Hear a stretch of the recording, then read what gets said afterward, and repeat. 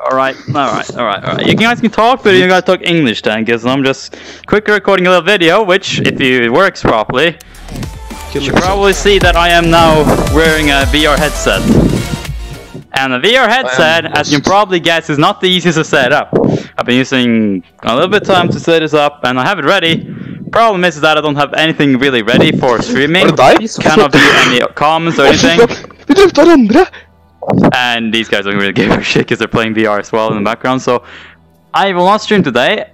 I will stream tomorrow though, because then I will stream something else or VR if I can get this shit to work. I'm trying to get some comments up and such.